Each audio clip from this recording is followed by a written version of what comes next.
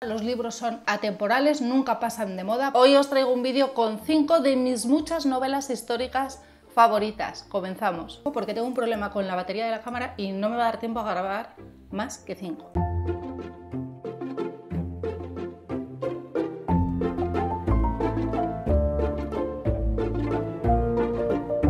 Hola a todos, ¿qué tal? Bienvenidos un día más a la pecera. Hoy os traigo un vídeo con cinco novelas históricas favoritas de mi vida. Hay más, hay muchas, pero solo os traigo cinco porque tengo un problema con la batería de la cámara y no me va a dar tiempo a grabar más que cinco. Esto es otro de los dramas de Booktube.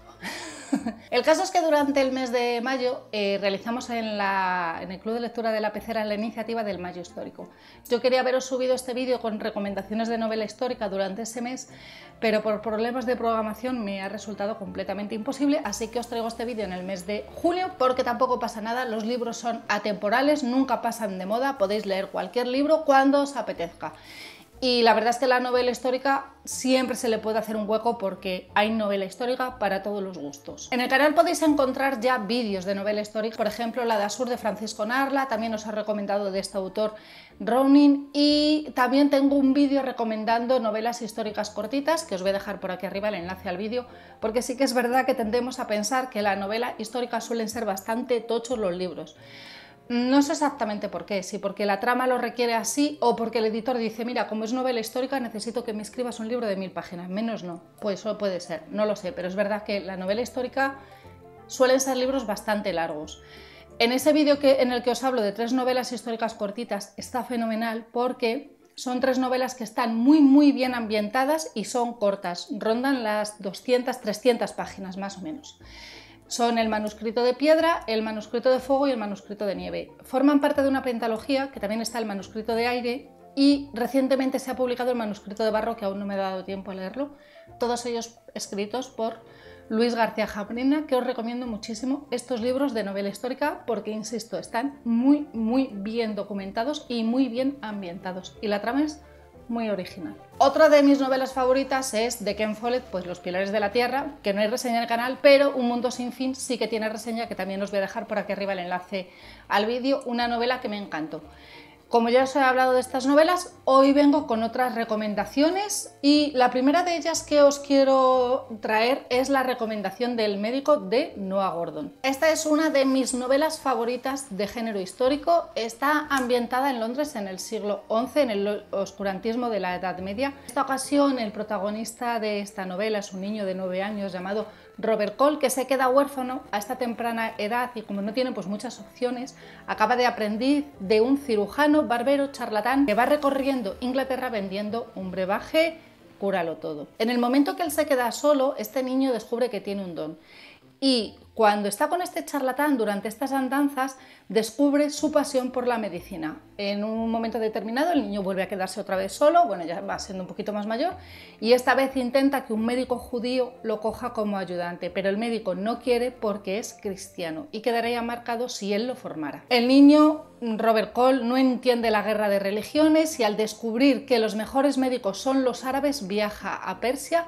para aprender del mejor médico de la época, Ibn Sina. Es verdad que esta es una novela cautivadora, es un poco larga, sí, tiene 893 páginas. Eh, la letra, bueno, no la veis, pero es diminuta. Son 893 páginas en una edición bastante viejilla, de bolsillo está amarilla ya, la pobre, del año 2000. A pesar de ser larga, es una novela ideal, ideal, ideal para iniciarte con las novelas históricas. Al principio es verdad que Tiende a ser un poco lento, pero después ya va cogiendo un poquito de ritmo y es adictiva, fascinante todo lo que el autor nos va contando de la medicina y algo muy significativo de este libro es la diferencia de métodos usados entre Europa y Oriente. En Europa los métodos utilizados en la medicina son muy supersticiosos y la medicina oriental en aquella época estaba muchísimo más desarrollada. Pero no solo nos va a mostrar la diferencia entre estos continentes, sino que nos va a dar también una versión de la medicina a través de las religiones, la cristiana, la judía y la musulmana. Diferencia de tratamiento de los enfermos en una época muy complicada ya que los médicos debían atender y debían además enfrentarse a continuas epidemias. No solo esto de la epidemia nos ha pillado ahora, sino que antiguamente ya había muchísimas pandemias. Por último, deciros de esta novela que el médico forma parte de una trilogía, la trilogía de la familia Cole.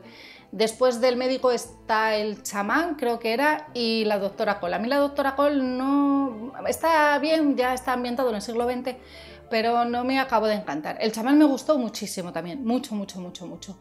Todos ellos están relacionados entre sí porque nos muestran eh, diferentes momentos históricos de una familia cuyos miembros pues, se dedican a la medicina. Eso sí, los podéis leer de manera independiente porque hay mucha diferencia entre una época histórica, entre un libro y otro. Los podéis leer de manera indistinta, pero pertenecen todos a la misma familia. Es una novela maravillosa para empezar con el género de la novela histórica. No os va a defraudar.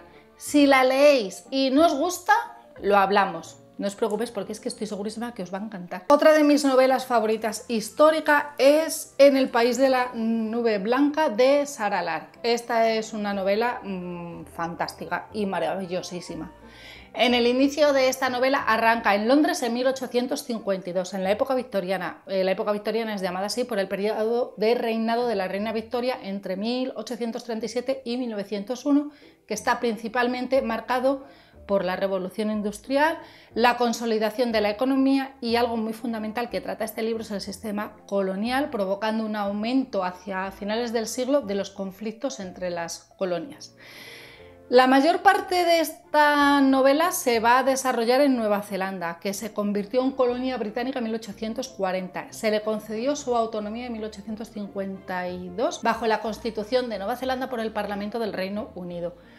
Durante este periodo, la industria de la ganadería comenzó a expandirse y hacia finales del siglo XIX la mejora de los medios de transporte fue posible gracias a la exportación de lanas, carnes y productos de granja. Esto además se va a ver muy muy muy reflejado y es algo muy importante dentro de esta novela. En 1893 se convirtió en el primer país del mundo en conceder a las mujeres el derecho a votar en elecciones nacionales.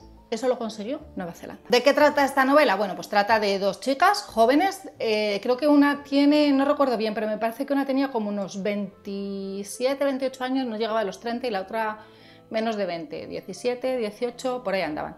Son dos chicas jóvenes de diferentes clases económicas, una es hija de un lord y la otra una institutriz que coinciden en un viaje en barco desde Inglaterra con un destino a Nueva Zelanda. Las dos van para casarse.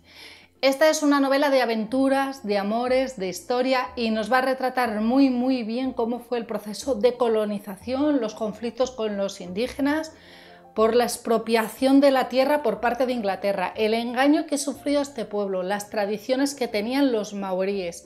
Eh, muchos detalles nos va a contar esta novela, descripciones, el choque cultural entre los dos pueblos, como por ejemplo que los maoríes tienen que aprender eh, nuevas culturas eh, mm, los invaden y no conocen el idioma, no conocen la cultura de los ingleses, tienen que aprender a hablarlo, a escribirlo. Nos va a hablar también de la creación de estas colonias inglesas. Nos habla muchísimo del tema de la ganadería y de la agricultura y por supuesto de la vida de las mujeres en una tierra muy, muy, muy hostil. Es una novela muy visual, está contada de una forma muy amena, muy entretenida, está muy bien documentada. Si no conoces esta parte del mundo en este momento histórico, es un buen libro para aprender esta historia y sus costumbres. También forma parte de una trilogía que os recomiendo muchísimo, los tres libros de Sara Lark. Bueno, no solo los tres libros de Sara Lark, os recomiendo todo lo de Sara Lark porque es maravillosa, pero a mí el que más me gustó de todos fue En el país de la nube blanca. Otra de mis novelas históricas favoritísimas de la vida que me encantó, me gustó muchísimo en esta edición tan horrorosa, que por cierto me parece que Planeta tiene una edición conmemorativa de la publicación de este libro súper bonita. Yo tengo esta cosa. es de parte de La princesa muerta de Kenize Mourad. Es una novela con tintes autobiográficos. Esta novela comienza en el Imperio Otomano en 1876 y termina en París a mediados del siglo XX eh, más o menos en la época de la Segunda Guerra Mundial, ahí termina. Eh, de esta manera la autora nos va a dar un paseo muy muy interesante desde finales del siglo XIX pues por distintos países, Turquía, el Líbano, va a pasar también por la India, una época en la que la protagonista de esta novela vivió y es un ambiente como muy exótico hasta mediados del siglo XX que termina en Francia, en plena, guerra en plena Segunda Guerra Mundial. Esta novela cuenta la historia de Selma Rauf Hanin, nieta del sultán otomano Murad V. Es un sultán que estuvo apenas tres meses en el poder debido a muchas intrigas palaciegas. Bueno, pues hicieron que lo destituyeran y lo encerraron junto a toda su familia en un palacio. En lugar de expulsarlo del país, lo tuvieron retenido en el palacio y nada, fue preso en su propio palacio durante 28 años, que vivió en cautividad.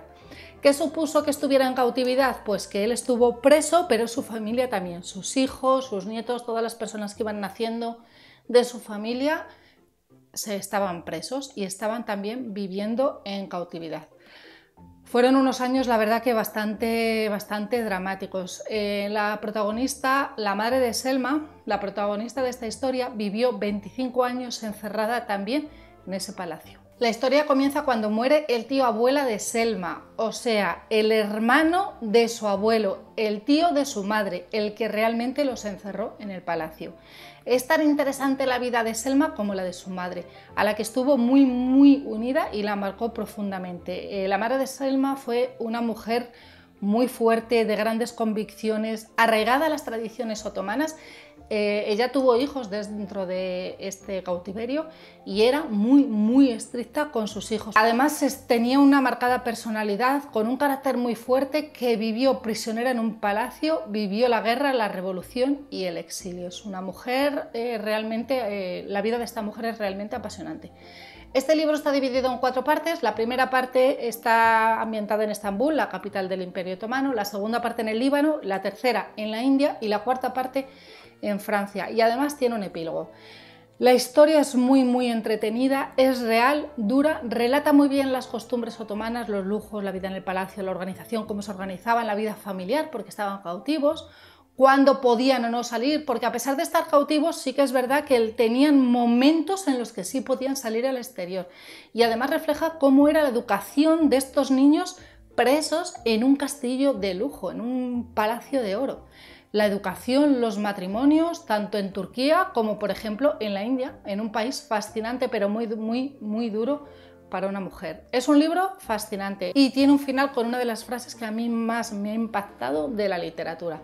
Maravilloso, os recomiendo muchísimo de parte de la princesa muerta. Otra novela histórica que me encantó y como estáis viendo están ambientados en distintos continentes, esta vez nos vamos a Asia y concretamente a China, es La Buena Tierra de Pele Sebak y bueno, esta es una novela maravillosa. Este libro nos habla de cómo era la vida en la China precomunista, ambientada a finales del siglo XIX, creo, y a principios del siglo XX, a través de sus personajes, cómo vamos conociendo las costumbres, la forma de vivir que tiene toda esta generación. Esta novela trata de Wanlu. En un momento determinado, eh, la madre fallece y él tiene que hacerse cargo de las tierras y de su padre. ¿Qué pasa? Que como ve que no puede con todo, necesita una mujer. La única forma de conseguir una mujer, porque como él es agricultor y no puede tener esclavas por el mm, estatus social que él tiene, decide casarse. Entonces elige para ello a una esclava Olan de una familia rica, la familia Wan. Eh, esta familia tiene muchas esclavas que las venden en matrimonio. Una vez que se casa, obviamente Olan tiene que atender al suegro, la casa, al marido, las tierras porque va a trabajar allí con el marido, a los hijos según van naciendo y van llegando, pues tiene que atender todas estas circunstancias, la mujer no para. Mm, es eh, impresionante el papel que tiene Olan en esta historia. Aunque es verdad que en esta historia la tierra eh, tiene muchísimo peso porque es como su mayor tesoro. La tierra representa su vida y todo lo que pueden llegar a poseer. Todo procede de la tierra. Entonces la tierra aquí es muy protagonista dentro de la novela.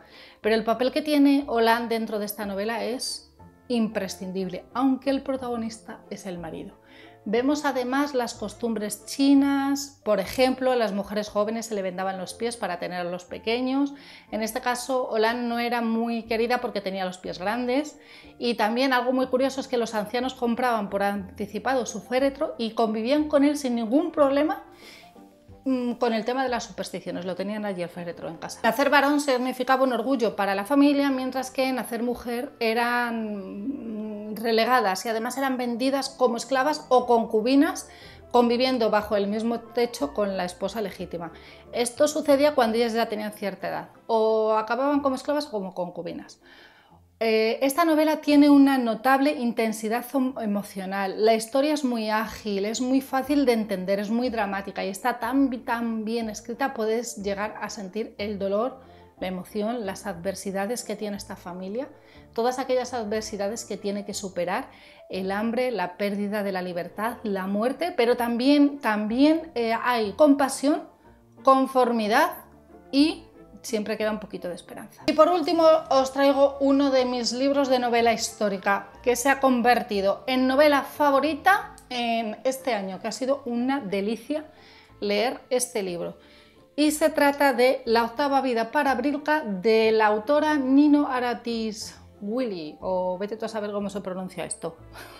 la octava vida para Brilka es una novela que trata una saga familiar donde la autora nos va a dar un repaso por la historia de Georgia y Rusia durante el siglo XX, una historia marcada por una época durísima, política y militarmente, siempre estaban en conflictos bélicos.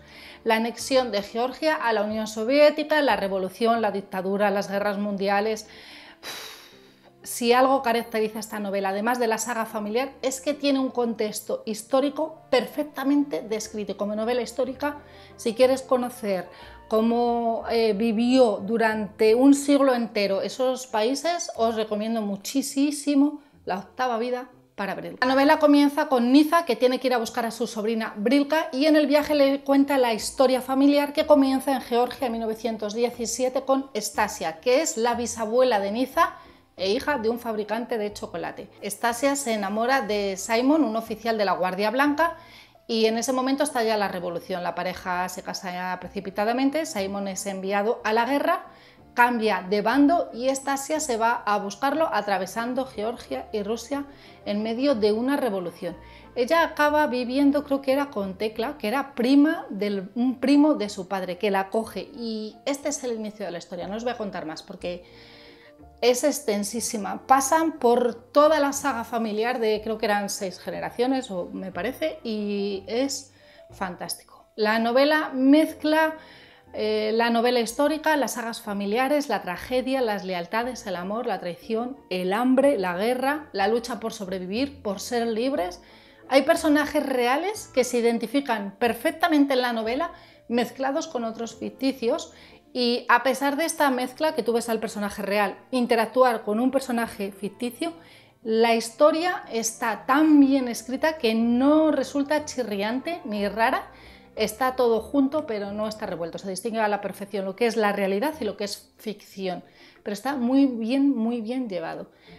Tiene un pequeño toque de realismo mágico con el tema del chocolate y hay que destacar la narración porque es muy fluida y a veces em, tiene un don especial esta autora y es que te está contando a lo mejor una historia muy muy dramática de una forma tan poética, tan bonita, que es que es sobrecogedora. ¿Cómo eres capaz percibir tanto sentimiento. Es una novela muy, muy recomendable. Os recomiendo muchísimo, muchísimo La octava vida. Una de mis novelas favoritas históricas que he leído recientemente y que os la voy a recomendar siempre. Y estas han sido mis cinco novelas históricas favoritas, no de la vida, porque tengo muchísimas más. He leído más novelas históricas. Ya os iré subiendo más vídeos de novelas históricas.